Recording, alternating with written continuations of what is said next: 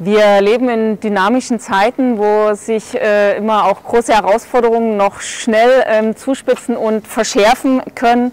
Seit einiger Zeit informiere ich über die angespannte Situation bei der Unterbringung von der drohenden Platznot. Wir haben da als Land Berlin ähm, jede Menge Maßnahmen in die Wege geleitet, um dem entgegenzuwirken, um mehr Unterkunftsplätze ähm, zu akquirieren. Nun ist in den letzten Tagen eine Verschärfung eingetreten, die ähm, für uns zu einem wirklichen Problem wird. Ich habe gestern die Mitteilung bekommen, dass die meisten Bundesländer bereits aus dem EASY-Verfahren rausgegangen sind, also EASY für ihr Land äh, gesperrt haben. Und es ähm, stand der Antrag im Raum, dass auch alle übrigen ähm, Bundesländer sich dort abmelden. EASY bedeutet das Erstaufnahmesystem für Asylanträge. Und über dieses System wird ähm, geregelt, dass alle Bundesländer sich solidarisch beteiligen an der Aufnahme von Asylantragstellenden und das nach dem Königsteiner Schlüssel, wo die einzelnen Bundesländer entsprechend ihrer Leistungsfähigkeit geflüchtete Asylsuchende aufnehmen. Das Land Berlin ist dafür knapp über 5 Prozent zuständig. Ähm, wenn jetzt auch die letzten Bundesländer easy sperren würden und sich damit ähm, aus dem Verteilsystem herausziehen, würde das bedeuten, dass das Land Berlin noch deutlich mehr Menschen unterbringen muss, weil ähm, die Menschen kommen ja trotzdem.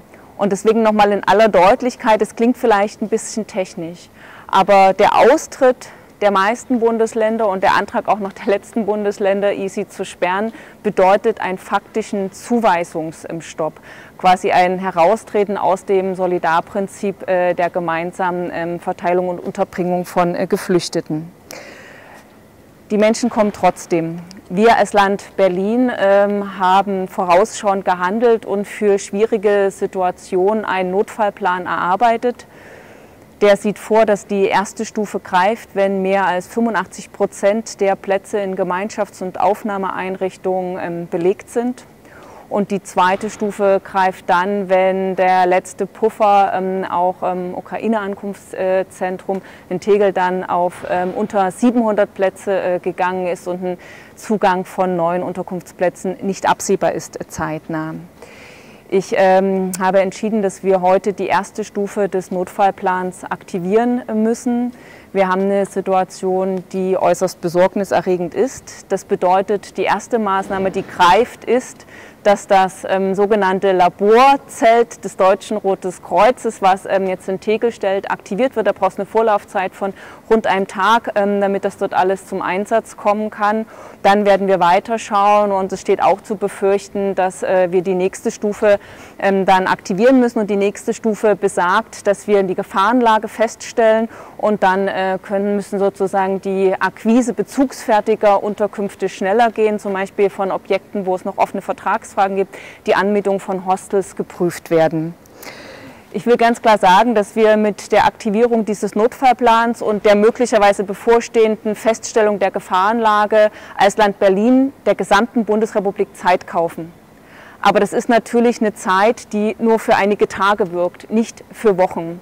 Weil es geht nicht nur zu Lasten des Landes Berlins und aller Beteiligten, sondern es hat natürlich auch ähm, in der Regel eine schlechtere Unterbringungssituation für die Geflüchteten zufolge, die wir wirklich äh, nicht sozusagen auf Dauer stellen wollen. Und deswegen braucht es ganz klar neben jetzt diesen akuten ähm, Nothilfeplanmaßnahmen eine politische Lösung. Und die politische Lösung beginnt damit, dass sich wieder alle Bundesländer beteiligen am EASY-System, am Solidarprinzip. Also deswegen meine ausdrückliche Bitte an alle Bundesländer zurückzukehren ähm, zum Solidarprinzip und sich an der Erstaufnahme von Asylantragstellenden wieder zu beteiligen. Ähm, das geht weiter, dass wir sagen, es braucht ganz klar ein transparentes ähm, Verfahren. Wir wissen, dass mehrere Bundesländer ähm, kritisieren, dass es keine Verrechnung der Systeme gibt, die Ukraine-Kriegsgeflüchtete ähm, bundesweit verteilt und des EASY-Systems, was die klassischen Asylsuchenden bundesweit die Zuteilung regelt.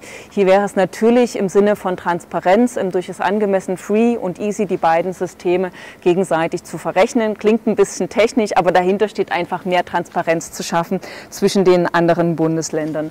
Und ähm, meine dritte ähm, Forderung in diesem Bereich ist ganz klar, ähm, wir haben jetzt eine Situation, dass die, Antrag, die Asylanträge von Menschen aus einzelnen Herkunftsländern nur in einzelnen Bundesländern angenommen äh, werden. Und ich glaube, es wäre einfach zweckdienlicher und alles leichter zu bearbeiten, wenn man sagt, Asylanträge, egal aus welchem Herkunftsland, werden einfach in allen Bundesländern angenommen.